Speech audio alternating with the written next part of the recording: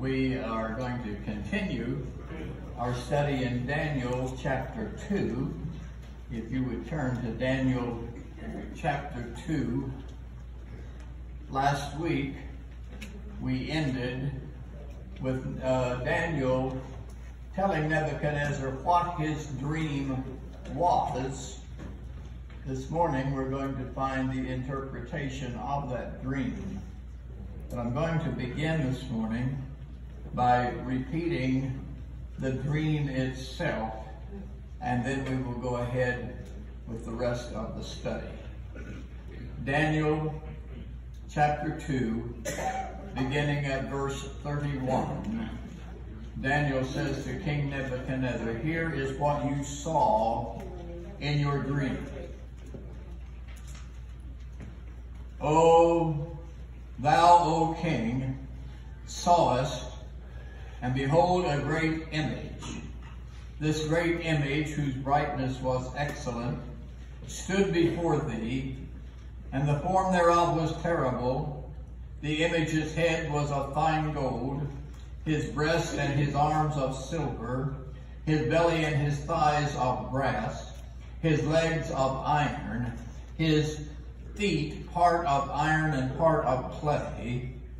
Thou sawest till that a stone was cut out without hands, which smote the image upon his feet that were of iron and clay, and brake them to pieces.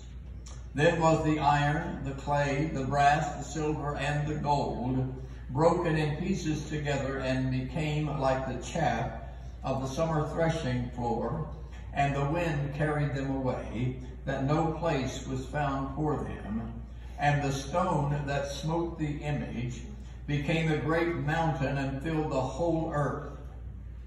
This is the dream, and we will tell the interpretation thereof before the king.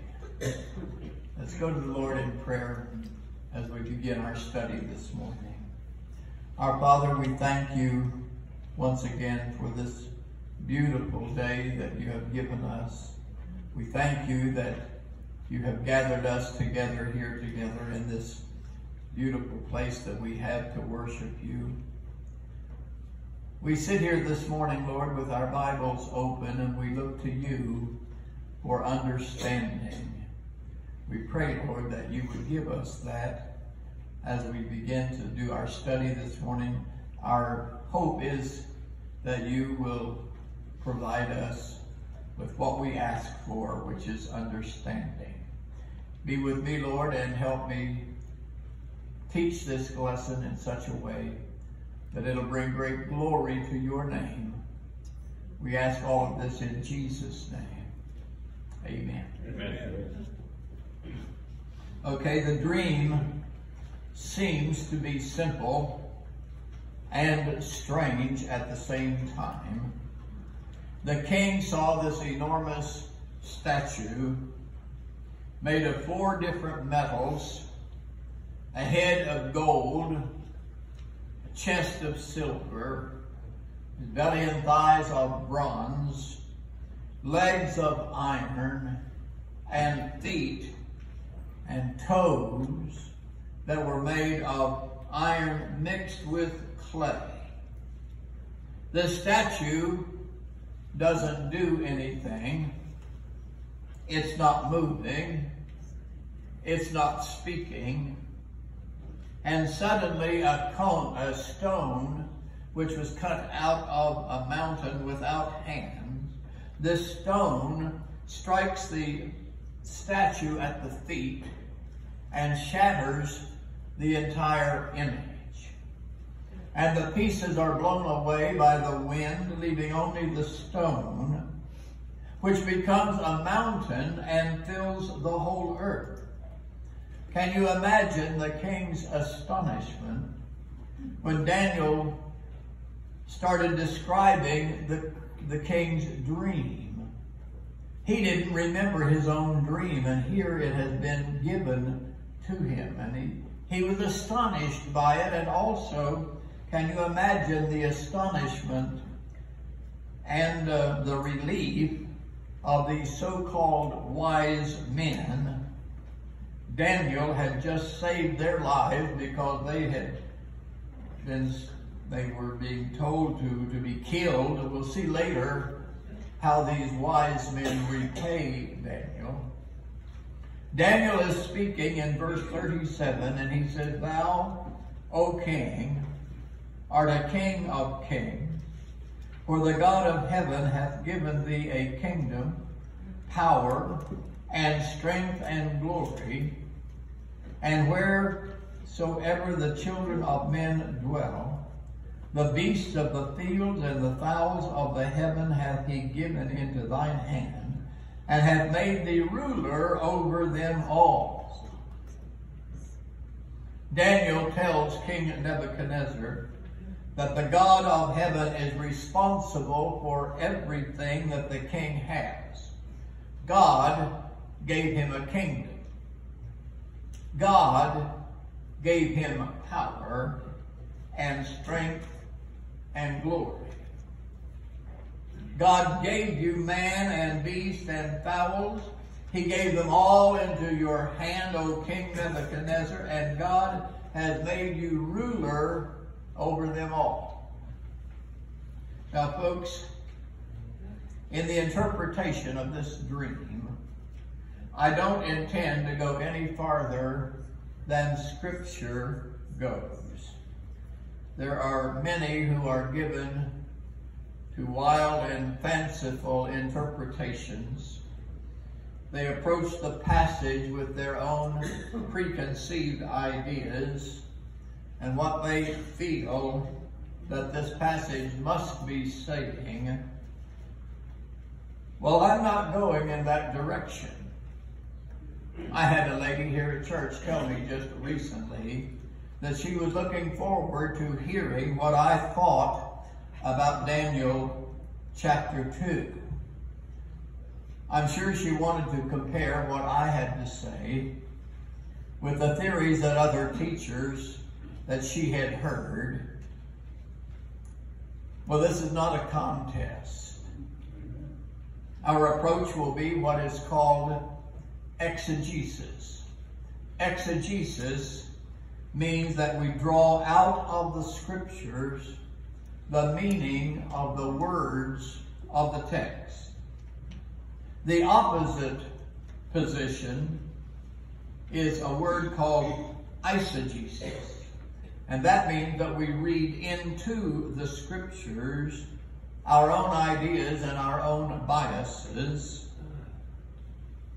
Mine will be a very conservative exposition of this dream, and we will leave it to others to speculate on what it means. Verse 38, the last phrase, says, Thou art this head of gold.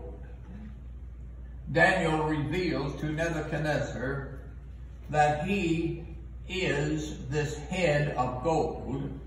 The head of gold represents his kingdom of Babylon. Now the king may have initially taken this as a compliment until he remembers what happens to this head of gold. It's turned to dust along with the rest of the image. Verse 39, And after thee shall arise another kingdom inferior to thee, and another third kingdom of brass, which shall bear rule over all the earth.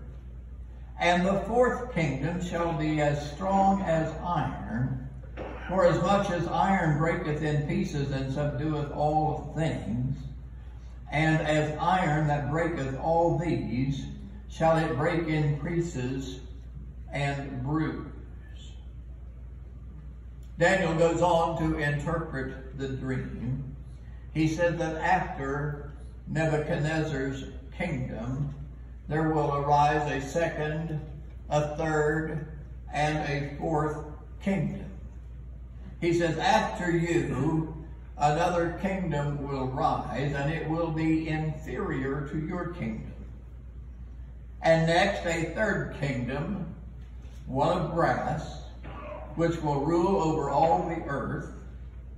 And finally, there will be a fourth kingdom, a kingdom as strong as iron, because iron breaks and smashes everything. And as iron breaks into pieces, so this fourth kingdom will crush and break all the other kingdoms. This means that the whole statue is a symbolic representation of four successive world kingdoms. Only the first kingdom is specifically identified. It is Nebuchadnezzar's and his Babylonian empire. Later on in this same book of Daniel, the next two kingdoms are named, and they are the Medo-Persian Empire and the Greek Empire, which is ruled by Alexander the Great. The fourth kingdom, the mightiest kingdom of them all, is never specifically identified by Daniel. It is simply described as having the strength of iron and having the ability to crush his enemies. As we look at world history, it's almost a foregone conclusion that this fourth kingdom refers to the Roman Empire. But scripture does not name that kingdom. If you take a look at the little handout that you were given, it may help you to see these time frames.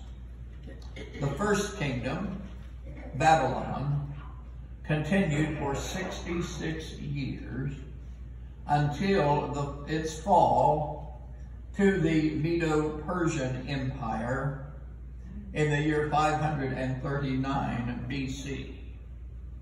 The second kingdom, this Medo-Persian Empire, lasted 208 years until its fall to the Greeks in the year 331 BC. The third kingdom, Greece, lasted for 163 years until its fall to the Roman Empire in the year 168 BC. The fourth kingdom, the Roman Empire, lasted 644 years until the fall of the Roman Empire in the year 476 AD. Let's look at the scriptures again, verse 41. And whereas thou sawest the feet and toes, part of potter's clay and part of iron, the kingdom shall be divided. But there shall be in it of the strength of the iron, for as much as thou sawest the iron mixed with miry clay, and as the toes of the feet were part of iron and part of clay, so the kingdom shall be partly strong and partly broken. And whereas thou sawest iron mixed with miry clay, they shall mingle themselves with the seed of men, but they shall not cleave one to another, even as iron is not mixed with clay. Finally, the feet and the toes of the statue were brought into view. We are told that this fourth kingdom will be divided. It will be a king. It will be a kingdom that will be partly strong and partly broken. Verse 44, And in the days of these kings shall the God of heaven set up a kingdom which shall never be destroyed. Amen. And the kingdom shall not be left to other people, but it shall break in pieces and consume all these kingdoms, and it shall stand forever. Amen. So what comes after the Roman Empire, the Roman kingdom? After this fourth kingdom, God will set up his own eternal kingdom. Here we have the fifth and the final kingdom. It's a kingdom that is set up by the God of heaven. It's a kingdom that will never be destroyed. It's a kingdom that will stand forever. Daniel sees that in the days of those kings, that is the days of the kings of Rome, in the days of those kings, the God of heaven will set up his kingdom. Christ came in the year 33 AD. This is the era that we are currently in. There will be no other era of man.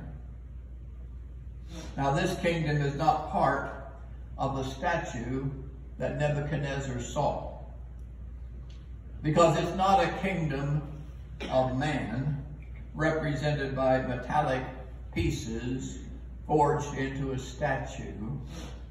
Daniel tells Nebuchadnezzar that a stone which was cut out of a mountain without hands, and that it crushed the iron, the bronze, the clay, the silver, and the gold. A mighty stone was cut out without human hands. I wonder who could have cut it out. Without human hand, but by God's action. And this stone is thrown into the course of human history. Verse 45, And for as much as thou sawest that the stone was cut out of the mountain without hands, and that it break in pieces the iron, the brass, the clay, the silver, and the gold. That stone destroyed all of the kingdoms that were before it. Daniel lists every single metal of the statue. Iron, brass, silver, and gold. As he describes how they will be crushed by this new kingdom. This kingdom will put an end to all the other kingdoms and it will itself endure forever. I'm looking forward to that kingdom. Unlike the kingdoms of men, it is a kingdom that will never be destroyed. The whole point of this dream is not to simply foretell the future, the future of earthly empires, but the point of the dream is to show that in the end, God will do away with man-made kingdoms and make his own kingdom over all the earth. Amen. It, that kingdom, cannot be conquered and it cannot be destroyed. No other empires will follow it. It will become like a great mountain which fills the whole earth. And it will be the final kingdom forever. Remember in the dream, not only did the stone smash the entire statue, but it caused the pieces to be blown away like the chaff in the wind. So God's kingdom is a final kingdom. It will never be replaced by anyone else, and no one will ever overthrow him. There are a variety of interpretations concerning this fifth and final kingdom, the kingdom of God. Exactly where does it fit in? Verse 44 begins with these words, And in the days of these kings shall the God of heaven set up a kingdom. Which days is he referring to? There are a variety of interpretations of this. There is the amillennial view. There is the post-millennial view. There is the pre-millennial view. There is the dispensational view and a variety of other distinctions in between them. this lady wanted to know my view. Well, I'm a pan millennialist. I think everything is going to pan out in the end. I will say this though, Daniel interprets this dream without any mention of any of these millennial distinctions. They're just not mentioned in this text at all.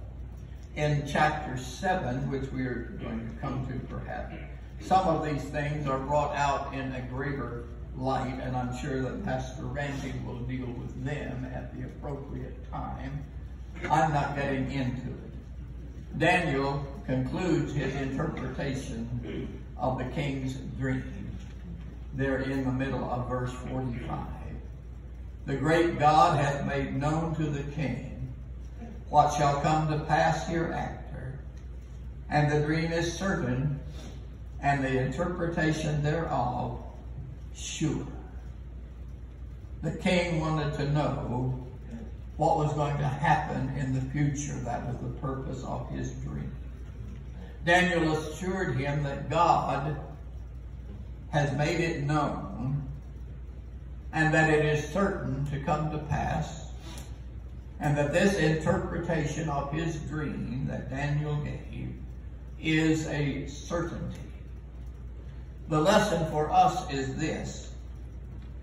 History is not determined by earthly rulers.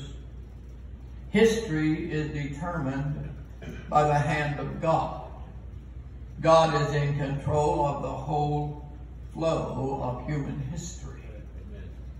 Empires rise and empires fall. And it's all according to his divine purpose.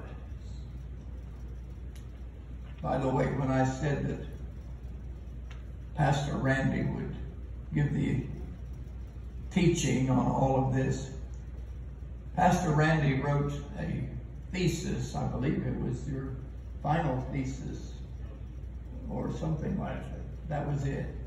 And uh, he studied and studied and studied and came up with uh, what I think is probably the truth of the whole matter. He'll teach that again one day soon. Verse 46. Then the king Nebuchadnezzar fell upon his face and worshipped Daniel and commanded that they should offer an oblation and sweet odors unto him. The king answered unto Daniel and said, Of a truth it is that your God is a God of gods and a Lord of kings and a revealer of secrets, seeing thou couldst reveal this secret. now this is a remarkable scene. This awful king, Nebuchadnezzar, who has just ordered the execution of all of the wise men, has now fallen on his face before Daniel, before this teenage captive out of Judah from the land of Israel. Did Daniel approve of the king falling down and worshiping him? No, of course not. How do I know this? Our text doesn't say one way or the other. But I know Daniel. And I think many of you know Daniel by now. After all that Daniel has said concerning his God, do you really think that he could have approved of anyone falling down to worship Daniel?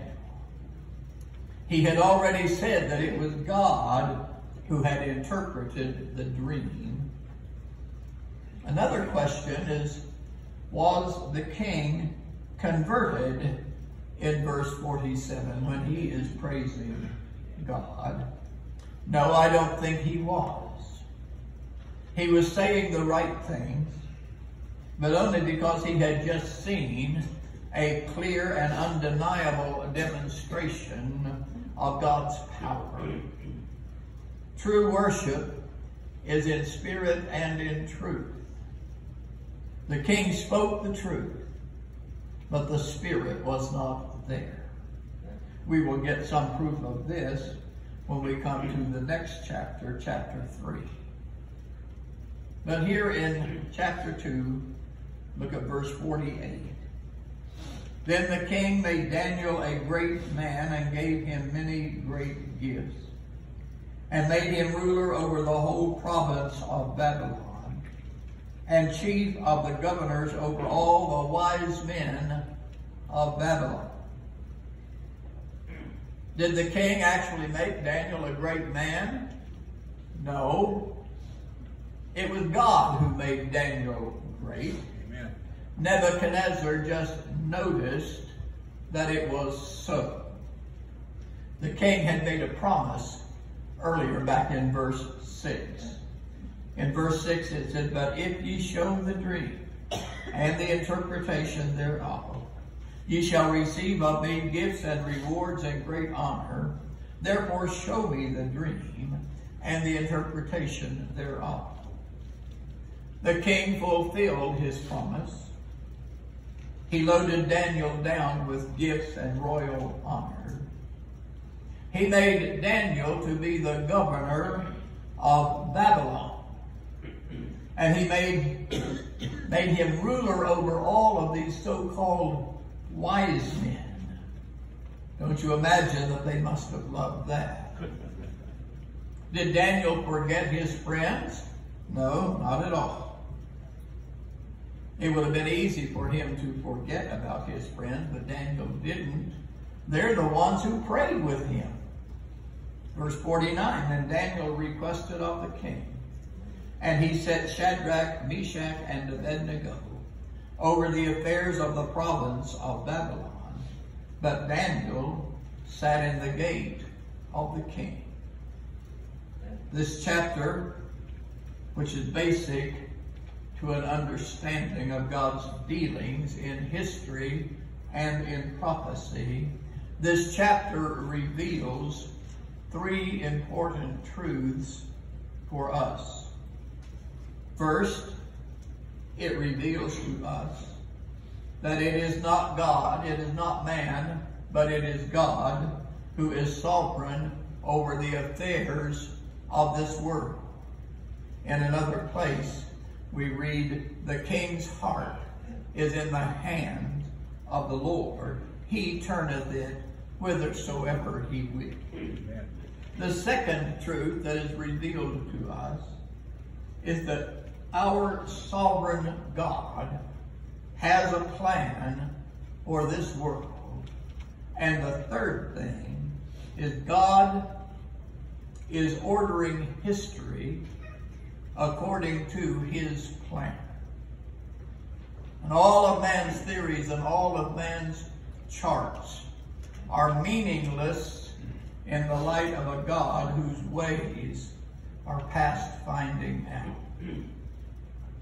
Here in Nebuchadnezzar's dream, these four kingdoms alone span over a thousand years. And now it has been over 1,500 more years since the fall of the Roman Empire. And God is still ordering history. Next week, we're going to take up chapter 3. There we will find that familiar story of Shadrach, Meshach, and Abednego in the fiery furnace. Brother Red, would you lead us in prayer? Yes. Lord, we thank you for this study in Daniel. And we see over and over, Lord, what a mighty God you are. Yes. Holy God, we worship you, Lord. We worship you. Lord, I thank you for this time that we can gather and hear your word. I pray for Brother Randy as he comes with the morning service. I pray the Holy Spirit will lead us in all things that we do, that we might give glory, honor, and praise to you. And thank you in Jesus' holy name. Amen. Amen.